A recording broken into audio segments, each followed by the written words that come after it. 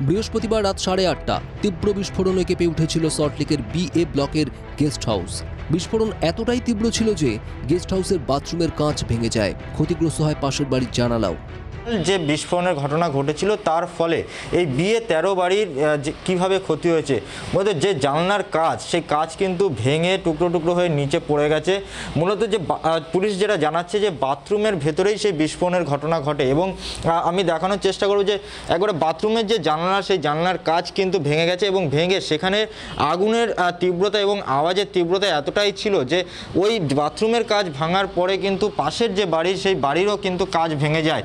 প্রচণ্ড তীব্র, প্রচণ্ড। মানে আমরা তো ভেবেছি পাশের বাড়িতে নিশ্চয়ই কোনো মানে শক্তিশালী বোমা ফেটেছে।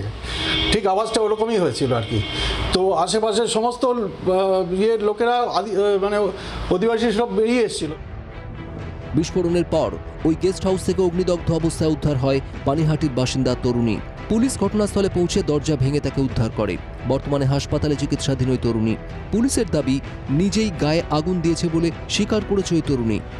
তাহলে প্রশ্ন উঠছে, তরুণী নিজে গায়ে আগুন দিলে এত জোরে বিস্ফোরণ কেন? কী কারণে? কী থেকে বিস্ফোরণ? গেস্ট হাউসের বাথরুমে পেট্রোলের বোতল কেন? বিস্ফোরণের কারণ জানতে ফরেন্সিকের সাহায্য নিচ্ছে পুলিশ। পাশাপাশি তরুণীকে জেরা করে আরও তথ্য জানার চেষ্টা করছেন তদন্তকারীরা।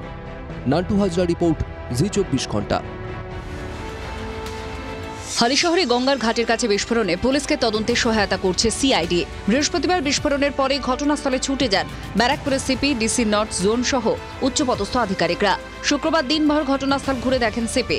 পৌঁছায় ফরেন্সিক দলও। ঠিক কি হয়েছিল?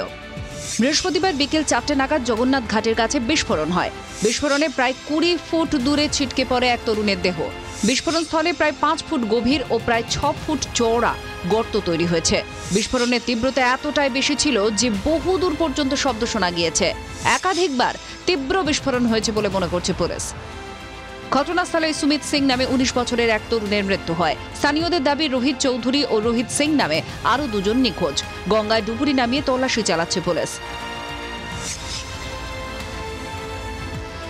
এত ইন্টেন্সিটি যেটা শোনা যাচ্ছে, একটা ড্রাম ভর্তি বোমা মাটির তলায় পুঁতে রাখা ছিল। তাহলে মুভমেন্ট ছাড়া এক্সপ্লোশন মানে আপনারা কি কোথাও কোনো ফাউল কিছু দেখতে পাচ্ছেন? না ফাউল তো নিশ্চয়ই আছেই। এক্সপ্লোজিভ এখানে তো কোনো এক্সপ্লোজিভ হওয়ার কথাই ছিল না, কিন্তু আছে, তার মানে নিশ্চয়ই কিছু ফাউল হয়েছে। এক্স্যাক্টলি কি হয়েছে, আমাদের এক্সপার্ট যারা আছে ফরেন্সিক টিম আসছে, ওরা এক্স্যাক্টলি বলবে। মাটির তলায় বোমা রাখা ছিল। তদন্তকারীদের মতে, নাড়াচাড়া না হলে বিস্ফোরণ হওয়ার কথা নয়। পুলিশ সূত্রে খবর, মাটির তলায় রাখা ছিল ড্রাম ভর্তি পনেরো থেকে কুড়িটি বোমা। সাধারণত বোমা নাড়াচাড়া না হলে বিস্ফোরণ হওয়ার কথা নয়। তাহলে কি বোমাগুলো মাটি থেকে তোলার চেষ্টা হচ্ছিল? একইভাবে আর কোথাও কি বোমা মজুদ বা পোতা রয়েছে? বোমা এলো কোথা থেকে? তুঙ্গে রাজনৈতিক চাপানোতর।